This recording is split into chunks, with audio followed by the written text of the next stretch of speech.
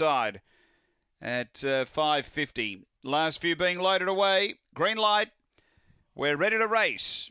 First division of the fifth grade. Ready.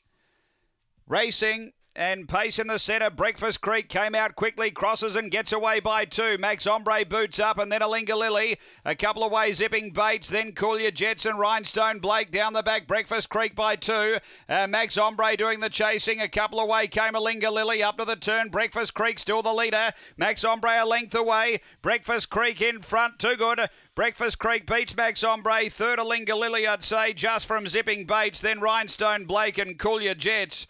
The time here is around 23 and 30.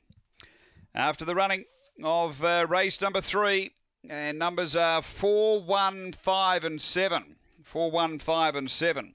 Breakfast Creek for Kevin Bewley, number four, the winner. Able to dive through early. She grabbed the front and uh, was never in danger, really. Held on well up the straight. Uh, second to one, which is Max Ombre for Tony Henriksen. And third going to uh, five, Alinga Lily for Yvonne King. Numbers are 415, 7 fourth, uh, 23 28 the run after the uh, third of the day here at Gawler.